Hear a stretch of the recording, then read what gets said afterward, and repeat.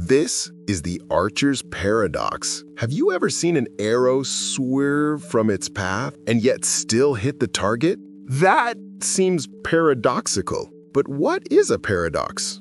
A paradox is a situation that seems logically contradictory but proves to be coherent. In archery, the paradox is this. To hit the target, the arrow must fly in a straight line, but the bow's handle is right in the way.